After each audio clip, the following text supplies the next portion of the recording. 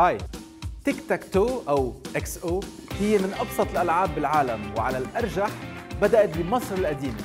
رومان كانوا من بين الشعوب القديمة يلي لعبتها بالقرن الأول قبل الميلاد وكان اسمها terni lapilli وكان اللاعب يحرك ثلاث قطع لحد ما يتوازوا وفي آثار لشبكات خاصة باللعبة بكل أنحاء المدينة القديمة. بعض الحضارات بالقرون الوسطى كانت تعتقد إنه عندها خصائص سحرية. وكانت تتسمى بالمربع السحري. والمجتمعات السرية كانت تسميها Kabbalah of the nine chambers وكانت تعتقد إنه الشبكة بتحتوي على رسائل سرية حول العالم.